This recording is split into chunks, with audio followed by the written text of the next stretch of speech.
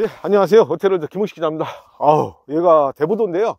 오늘 날씨가 정말 춥습니다. 영하 7도, 8도 이렇게 되는데 체감온도는 뭐 훨씬 더 낮겠죠. 제네시스 G8, 예, G80 부분 변경 모델 시승하고 있습니다. 3세대의 마지막 부분 변경이 될 것 같습니다. 뭐 디테일한 부분에서 변화가 많이 예, 됐는데요. 자, 오늘 시승차는 가솔린 3.5 터보 어, 풀옵션 모델입니다. 옵션을 전부 포함한 가격이 8,860만원, 어, 요 정도 하는 모델이고요. 오늘은, 어, 제네시스 G8의 어떤 변화한 것들 위주로 한번 살펴보려고 합니다. 우선 외장 디자인의 예, 변화부터 살펴보겠습니다. 예, 전면부는 crest grille을 이중 mesh 구조로 변경을 했고요. 제네시스 시그니처죠. 이 헤드램프에는 MLA 기술을 적용했습니다. MLA는 어, 마이크로 렌즈 어레이? 얼레이? 뭐 이런 건데 렌즈 간격을 촘촘하게 해서 그러니까 램프 안에 들어가 있는 렌즈의 간격을 촘촘하게 해서 어느 방향으로나 빛이 잘 비추도록 한 거라고 합니다. 뭐 가시성을 확보하는 데도 도움이 되고요. 예, 측면부를 보면 어, 5 더블 스포크 20인치 휠이 어, 새로 적용이 됐습니다. 이게 어, 비행기 프로펠러가 도는 듯한 어, 그런 모습을 하고 있어서 G80의 어떤 역동적인 성능을 표현하는데 도움이 되는 것 같고요.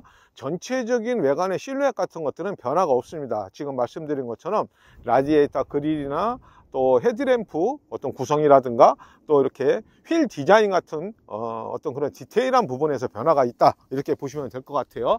후면도 한번 살펴보겠습니다. 자 후면부에는 어, 제네시스 크레스트 그릴 디자인에서 착안한 V 형상의 크롬 트림 또 hidden 머플러가 적용이 되어 있습니다. 아까 말씀드린 것처럼 외관에는 큰 변화가 없습니다. 전면에 라디에이터 그릴의 어떤 패턴이라든가 또 헤드램프에 어, 들어가 있는 렌즈의 구성이라든가 또 측면에 예, 휠 디자인이라든가 또 어, 뒷부분에 소소한 변화를 통해서 어, 이전하고 뭐 그대로 보면은 비슷한 것 같으면서도 그런 디테일한 부분에서 변화가 좀 있다. 이렇게 보시면 될 것 같고요. 어우 추워서 입이 고와서 말이 제대로 안 나올 정도입니다. 자, 이제 따뜻한 실내 한번 살펴보겠습니다. 자, 실내 변화도 살펴보겠습니다. 흔히 얘기하는 수평적 디자인을 강조하고 있는데요. 클러스터하고 인포테인먼트 시스템이 하나로 합쳐진 27인치 통합형 와이드 디스플레이 보이는데 여기 보면은 이게 2분할 또 3분할 화면이 가능합니다. 기본적으로 왼쪽에 있는 어, 디지털 클러스터가 있고 또 중앙 쪽에 있는 이 화면을 통해서 뭐 내비게이션이라든가 어, 콘텐츠를 따로 재생을 할 수가 있습니다. 뭐 센터페시아에는 어, seamless 디자인을 적용을 했습니다. 그러니까 베젤이 없는 seamless 디자인이 적용이 됐고요.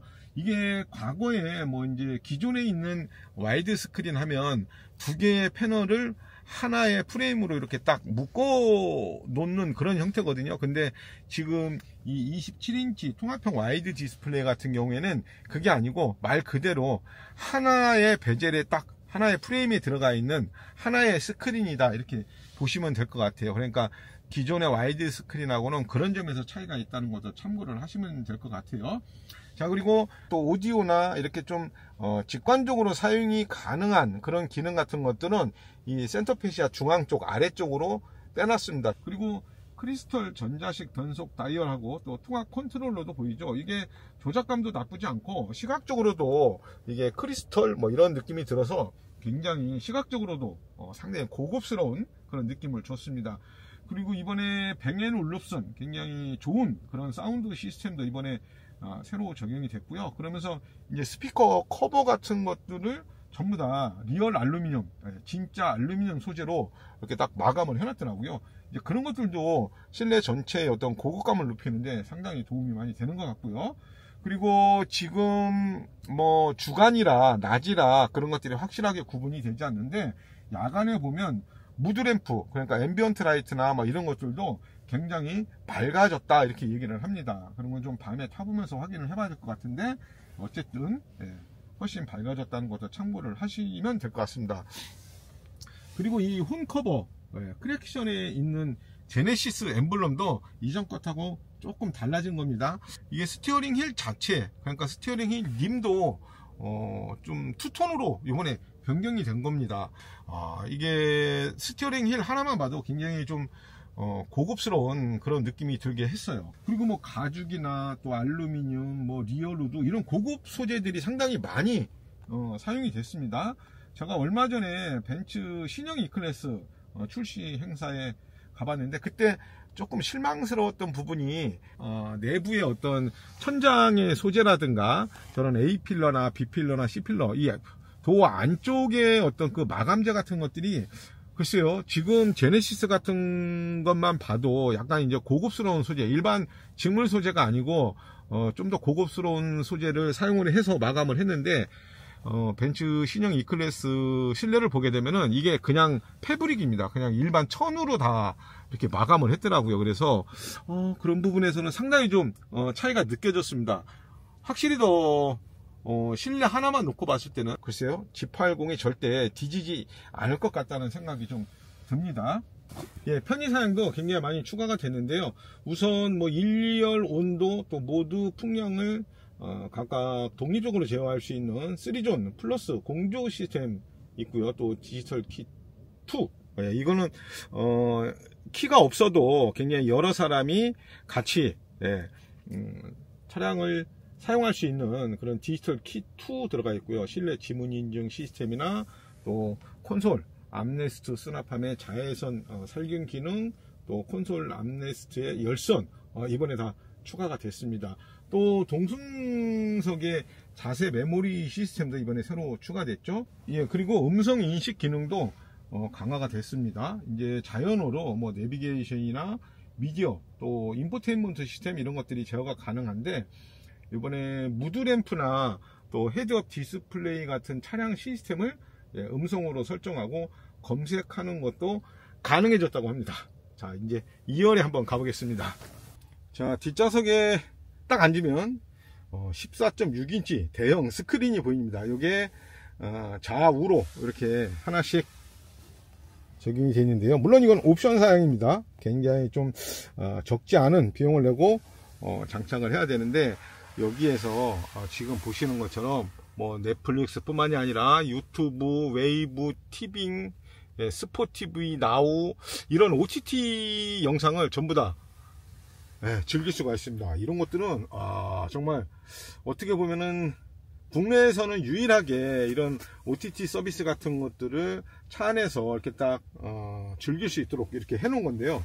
어, 정말 이게 후석에 탄 사람들이 뭔가 좀 특별한 예, 그런 감성을 느낄 수 있는 그런 게 아닌가 싶습니다. 이야.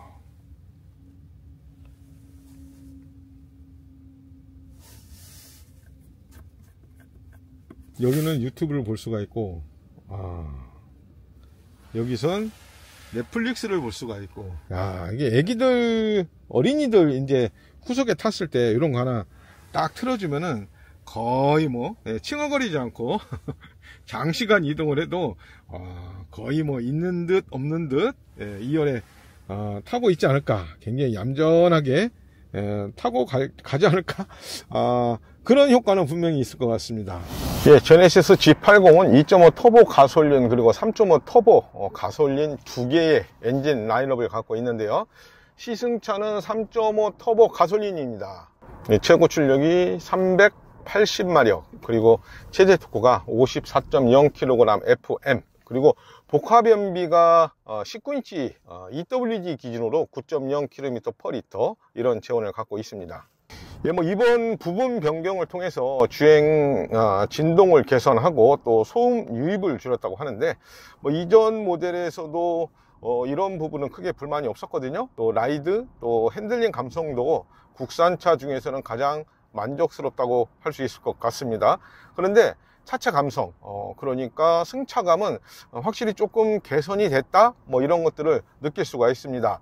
자, 제네시스는 뭐 서스펜션 부시 예, 이 형상을 최적화하고 또 차속과 노면 상태에 따라서 타이어에 예, 다르게 전달되는 그 주파수를 이용해서 노면에서 올라오는 진동을 완화하는 어, 주파수 감응형 예, shock absorber를 기본 서스펜션 사양에 새롭게 적용했다고 하는데요. 확실히 전반적인 승차감이 이전하고는 어, 달라졌다는 것을 주행하는 동안에 계속 느낄 수 있게 해줍니다. 그런데 뭐 흡차음 사양 뭐 이런 것들도 어, 보강을 해서 노면 소음이나 풍절음 이런 것들도 많이 줄였다고는 하는데 솔직히 제가 이제 감각이 예, 좀 무뎌서 그런지 몰라도 이전 모델하고의 차이를 막 이렇게 확실하게 어, 느끼지는 못하고 있습니다. 아, 뭐가 이렇게 달라지고 좋아졌는지 뭐 이런 것들은 계속 뭐 주행을 하면서 어, 좀 한번 더 디테일하게 예, 자세하게 살펴봐야 될 것 같아요. 그리고 뭐 제네시스 G80이 갖고 있는 그런 부드러운 어, 승차감이나 또 하체에서 올라오는 그런 피드백 같은 거 이런 것들도 예전에 어떤 그런 감성 같은 것들을 잘 유지를 하고 있습니다. 크게 변덕스럽지 않게 뭐 가속 페달을 어, 함부로 다루든 뭐 차분하게 다루든 또 급가속을 하던 뭐 이런 어, 어떤 제동 성능이나 이런 것들까지 포함해서 전반적인 어떤 주행 성능 같은 것들은 이전 모델하고 크게 차이가 없습니다. 역시 뭐 조용하고요. 굉장히 예, 부드러운 그런 주행 감성을 보여주는 그런 특성들을 어, 계속해서 보여주고 있습니다. 예, 제네시스 G80 시승을 마쳤습니다. 예, 가격이 9천만 원대, 거의 9천만 원대, 꽤 고가의 프리미엄 세단이죠. 이번에 뭐 사양이 많이 추가되면서 만만치 않은 가격이 됐는데, 뭐 벤츠 신형 E클래스하고 어, 가격대가 비슷해졌습니다. 많은 분들이 뭐 이런 걸 가지고 비교를 많이 하시는데 오늘 시승차는 이게 풀옵션 어, 최고급 사양이고 이제 뭐 2.5 터보 기준으로 했을 때 시작 가격이 한 어, 5,890만원? 한 요 정도 하거든요. 뭐 이런 점을 감안하셔서 어, 좀 어, 비교를 해보시면 좋을 것 같고요. 뭐 개인적으로는 뭐 벤츠 E클래스 제가 얼마 전에 다녀왔거든요. 신차 출시하는 현장을 갔다 왔는데 거기에서 봤을 때 뭐 실내 어떤 마감재의 고급감이나 공간 이런 것들은 솔직히 말씀드려서 아무리 어, 객관적으로 비교를 해도 어, G80이 조금 낫지 않나? 이런 생각이 들었습니다. 너무 추워서 그냥 어, 서 있기도 힘들 정도로 지금 여기가 바닷가 바람도 많이 불고 그래서 좀 서둘러서 시승을 마쳤습니다. 그런 좀, 어, 좀 이해를 해 주셨으면 좋겠고요. 지금까지 예, 오토헤럴드 김흥식 기자였습니다. 감사합니다